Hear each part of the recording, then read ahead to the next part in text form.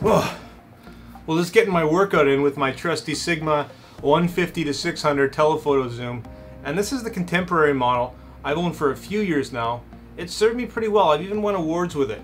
So I wanted to chat about it today and really break it down, tell you what's awesome about it, and where it falls short. So let's get going.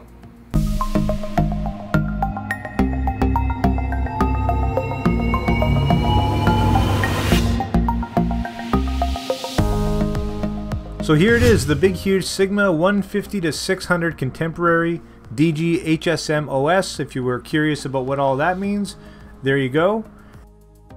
And here's just a few specs and features of this lens right before we dive into build quality.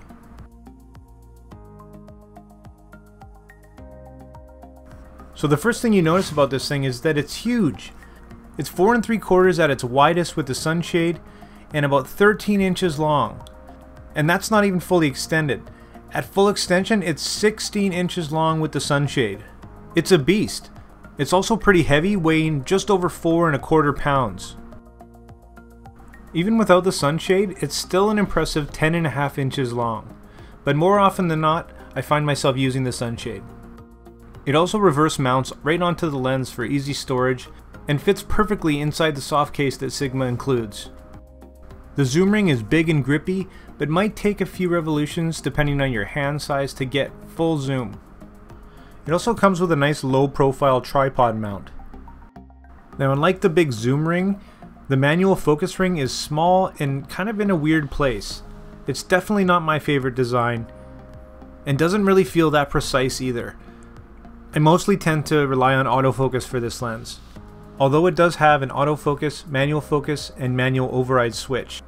It also has a focus limiter switch, which is kind of handy depending on the distance of your subject. Of course this lens is image stabilized, with two settings which we'll go over later. And finally, Sigma's included two custom modes which allow you to really dig in and customize your lens for the way that you shoot. This is done through Sigma's own Optimization Pro software.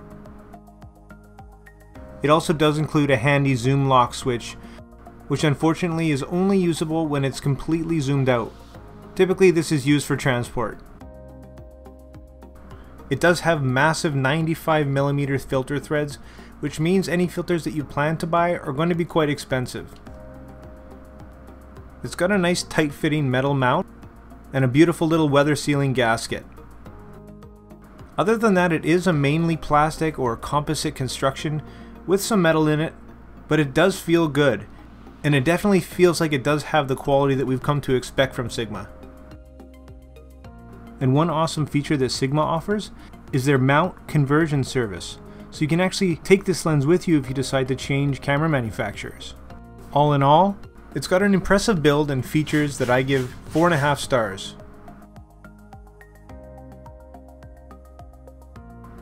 As far as value is concerned, it's pretty much easy to see. This thing's packed with features, and although it's a few years old now, it still keeps up with a lot of the newer lenses and technology. Of course, there's more and more competition coming out all the time, but around 900 American dollars brand new, this thing sure has a lot going for it. There's also a sport model that's about double the price and 2 pounds heavier. Now one thing I do appreciate with Sigma is what they do include with their lenses. Like in this case, the soft carrying case, the sunshade, and the tripod collar. And as we touched on, this lens and a lot of other Sigma lenses have the ability to be completely customized. Unfortunately, to do that and to update the firmware on these lenses, you're going to need the Sigma USB dock, which does come at an additional cost.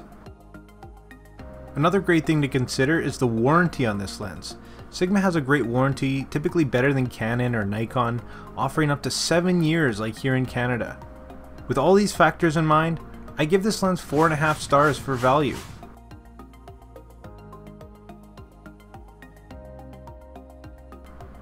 So let's talk performance. And how does this thing stack up? Well first let's look at the autofocus system. Now like a lot of big telephotos, if you've got your subject locked in, this thing does pretty well. It can keep up with a lot of your fast action like birds or sports, but if you're going from near to far focusing a lot, it can get a bit frustrating as it does hunt a little bit. It's best to get really comfortable with that focus distance limiter switch and definitely take advantage of those custom modes depending on what you're shooting. If you're thinking about using this lens for video at all, consider that it is a 600mm and you're going to need an absolutely rock steady tripod. Here's an example at 600 of a hummingbird and you can see that even on a tripod there's still movement at those higher focal lengths. The video quality is decent. And it's also pretty cool to have the reach for some of these shots.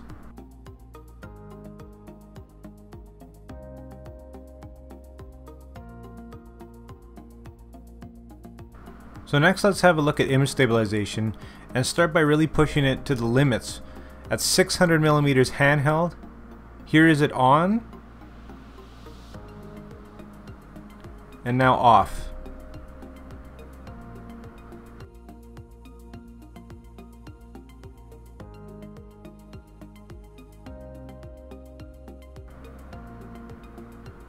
Here it is again on.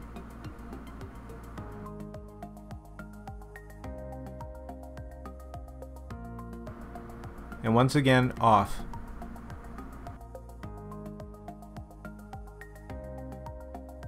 And just for difference, here's handheld at 150 millimeters with IS on and off. Image stabilization is amazing to have, but don't expect wonders at 600 millimeters. Now this is a lens that can be used on a full frame or an APS-C crop sensor camera.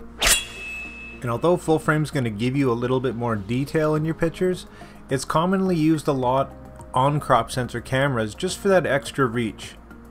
So here's a difference between a full frame sensor and a crop sensor camera, both using this lens to see the difference in quality and of course the reach you can get. Usually these big telephoto lenses are made for sports or nature, and like everything in photography, all lenses, cameras, and systems have give and take.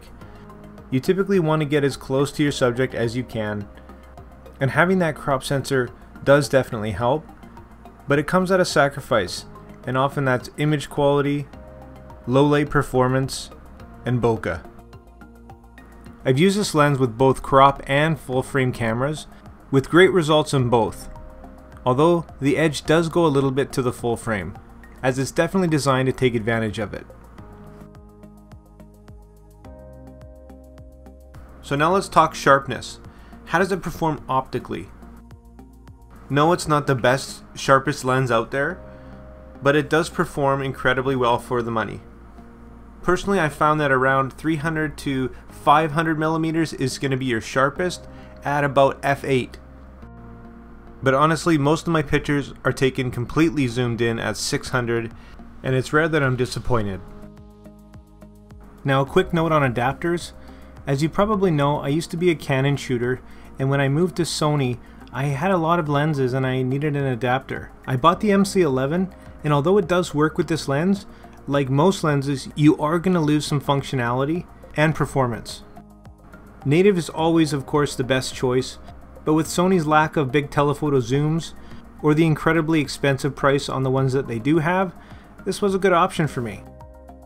All in all, this thing performs very well, and I'm not going to be comparing it to big huge telephoto primes or things way outside of its price range. So in this regard, it gets 4 stars for performance.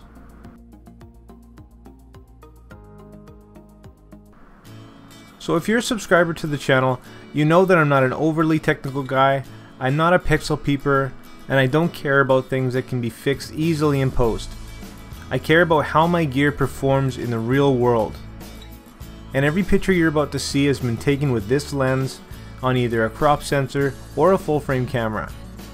So you be the judge. Is it perfect? Absolutely not. But for the price? Well, I'll let you decide.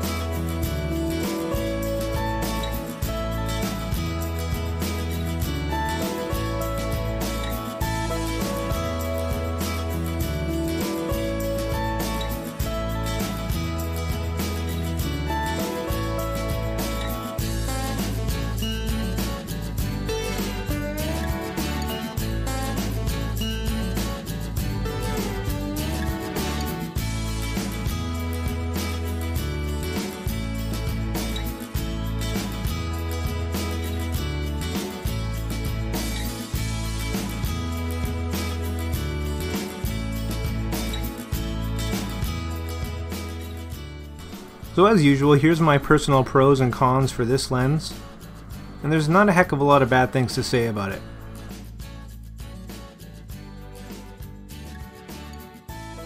Overall, this is one of the lenses that I've owned for the longest, and if I could go back, would I buy it again? Absolutely. I give this lens 4 solid stars.